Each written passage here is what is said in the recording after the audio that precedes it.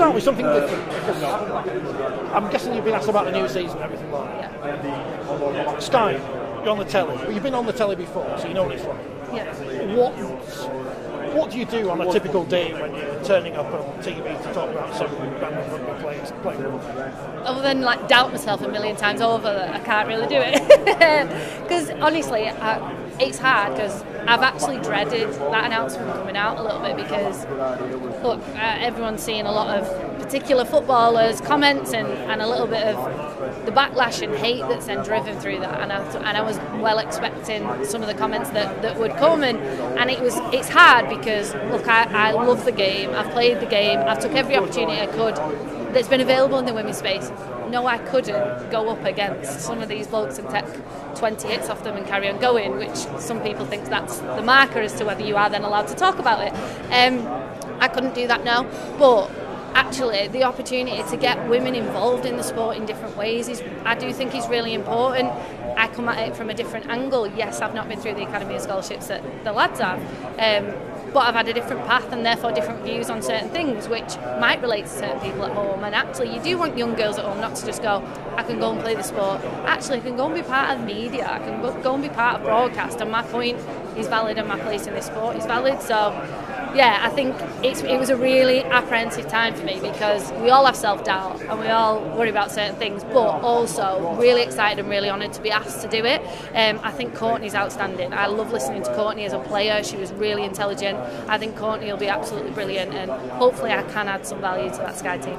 It's not the fear when you open your mouth that you're going to say something stupid. Because I've had that for 20 odd years. It never goes. yeah, I think it's the fear that you're going to say something stupid, the fear that oh, the, all these people know what they're talking about, and you doubt yourself because they're so brilliant, and the, you know they've been doing it for years, and, they're experts in it, and you know it is very new. So when you talk about you know what is it like on the day, you know it is really nerve wracking, and it's trying to see where I fit. And if you have an idea, are you confident enough to put it forward? Um, often really daunted by the experience, but really enjoy it and the team have always been brilliant in terms of bringing me in and, and making me feel comfortable and part of the team. So when I got asked like I did I doubted it for a second but that was more my own my own doubts about myself but I'm sure it'll be an opportunity for me that it'll be really good going forward and hopefully I can I can add my own little bit of a spin to the Sky team. it's really sad that you have to say that you're dreading the announcement coming out because it is in essence it's a positive news story for you but you're dreading reaction from I mean, I'll call them morons and idiots because that's what they are, but it, it's sad that that is still a thing you have to work with. Yeah, I know, and it's hard because the people who are around you will tell you that's silly, don't be daft, ignore those comments. But it's easier said than done. Do you know what I mean? You can have nine nice comments and one not very nice comment, and that one not nice one will stick with you. Um, so yeah, look, it, it, was one of those things. A little bit of apprehension around it. I'm sure I'll I'll have still nerves and excitement around any of the games that I do cover. Um, but it's a brilliant opportunity, and look, really grateful to be asked because I'm just a really keen fan who absolutely loves this sport, and then has had the luck and opportunity as I've been playing where things have fell right and I've managed to play Women's Super League. I've you know been trusted to be captain of teams and I'm just so grateful and I'm still learning and I'm still grasping every opportunity but I love this sport and hopefully one thing I can bring is passion for it because yeah I genuinely do believe it's the best sport in the world and it's there's so many parts of it that are untapped still um, but I actually feel a bit of excitement and momentum about the sport at the minute it feels like we are starting to make a few strides is it feeling weird? It's feeling weird to me that every, everything. The people seem, are positive. Yeah, I know it's, it's strange, yeah. isn't it? It is strange. I think one thing you can always rely on with rugby league is that we manage to find negatives in most things. Um, but I think there's been a consecutive flow over the last few weeks and months of positive news stories, positive steps for the sport, you know, all the coverage that they're going to get across the various different broadcast channels. The fact that everyone can access every game, I think, is a massive positive. positive, and all the various announcements. You know, you've got the even the branding. I just think it looks clean. It looks smooth. Purple, purple, purple for the women. I think we've got the best colour. Maybe I'm a little bit biased, uh, but all of it, I just think looks positive. The reaction has been fairly unanimously positive, and it feels like we've got some momentum going into the season. And actually, having the wheelchair, the men's and the women's now under that one brand, being looked after together, means that you have always got a consecutive flow of new things coming out as well. So the men's will start, and then you'll have the women's, and then you'll have the wheelchair, and you'll have all the news, excitement, ups and downs of those seasons that sort of slot in between. So it means that we're never going to be bored.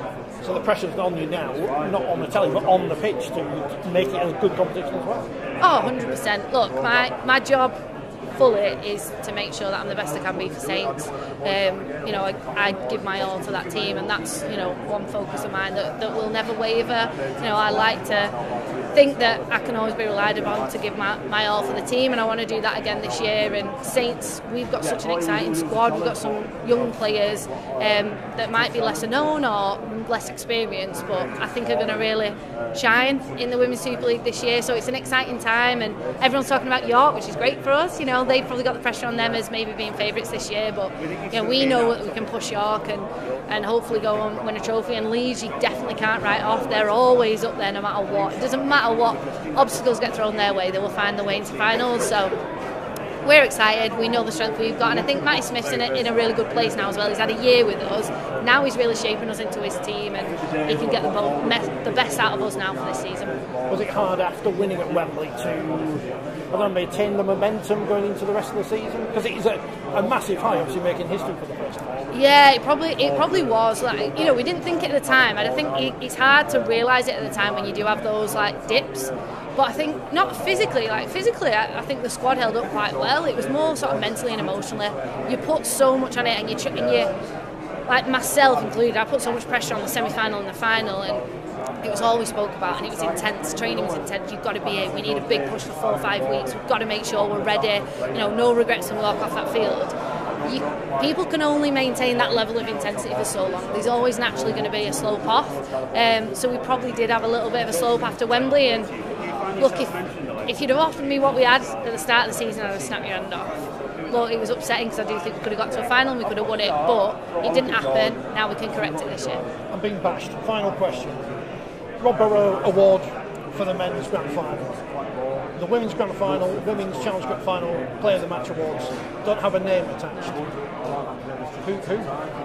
Oh, that's a hard one. You know what's hard is there's so many incredible women that have like come and gone, and there's so many that are still involved in the game in some ways. You know, the names people would know, like Lois Forsell, you know, what she's done in the game, I think is incredible. But while she's head coach of Leeds, you probably maybe can't do that.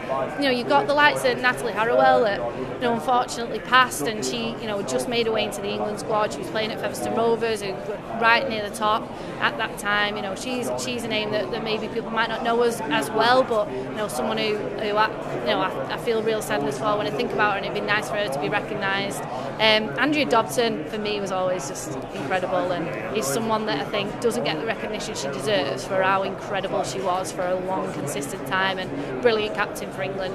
Um, there's so many names you could throw around. There's Lindsay, obviously, Lindsay, what she's doing at York, but again, be hard for her to name the trophy and one of her team be lifting it that year, so we'll see. Yeah, what, did you call them up, name them all after you and that, that saves all that. Oh yeah, I'll have one.